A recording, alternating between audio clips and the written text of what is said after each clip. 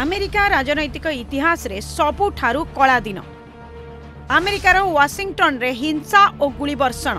ଚାରିଜଣ ମୃତ ଓ ଅନେକ ଗୁରୁତର ଜାରି ହେଲା ଜରୁରୀକାଳୀନ ପରିସ୍ଥିତି ଦୁଇଶହ ବର୍ଷ ପରେ ଆମେରିକାରେ ଏପରି ହିଂସାକାଣ୍ଡ ଆମେରିକା ସଂସଦରେ ଇଲେକ୍ଟ୍ରାଲ କଲେଜ ପ୍ରକ୍ରିୟା ଚାଲିଥିବା ସମୟରେ ଘଟିଥିଲା ହିଂସାକାଣ୍ଡ ଘଟଣାକୁ ବିଶ୍ୱବ୍ୟାପୀ ନିନ୍ଦା ଲୋକତନ୍ତ୍ରରେ ହିଂସାର ସ୍ଥାନ ନାହିଁ ଟ୍ୱିଟ୍ କରି କହିଛନ୍ତି ପ୍ରଧାନମନ୍ତ୍ରୀ ମୋଦି ଆମେରିକାର ୱାଶିଂଟନରେ କ୍ୟାପିଟଲ ହିଲ୍ଠାରେ ହିଂସାକାଣ୍ଡ ଘଟିଛି ଆମେରିକା ସଂସଦରେ ଚୂଡ଼ାନ୍ତ ପ୍ରକ୍ରିୟା ଚାଲିଥିବା ସମୟରେ ଟ୍ରମ୍ପଙ୍କ ସମର୍ଥକମାନେ ଅସ୍ତ୍ରଶସ୍ତ୍ର ସହିତ ସଂସଦ ପରିସର ମଧ୍ୟକୁ ପ୍ରବେଶ କରିଥିଲେ ସଂସଦ ପରିସରରେ ହୋଇଥିବା ହିଂସାକାଣ୍ଡରେ ଏବେ ସୁଦ୍ଧା ଚାରି ଜଣ ପ୍ରାଣ ହରାଇଛନ୍ତି हिंसा को दृष्टि रे वाशिंगटन रे 15 दिन पई इमरजेंसी घोषणा होई छि अमेरिका संसद रे इलेक्टोरल कॉलेज प्रक्रिया चलीथिबा समय रे ट्रम्प को समर्थक माने जो बाइडेन को राष्ट्रपति हेबार हो निष्पत्ति पूर्वरु पूर्व एपरि हिंसाकाण्ड घटाले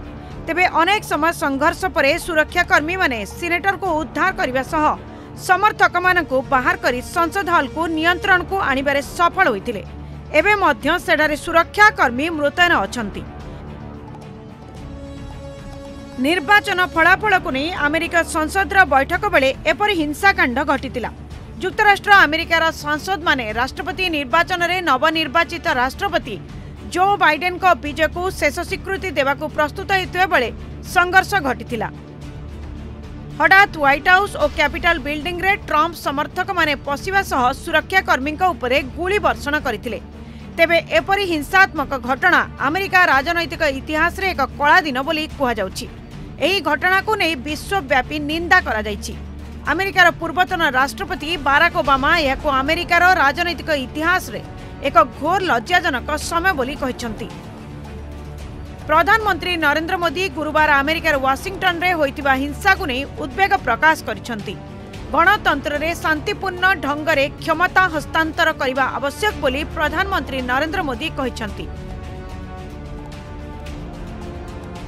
ବ୍ୟୁରୋ ରିପୋର୍ଟ ଅର୍ଗସ୍ ନ୍ୟୁଜ୍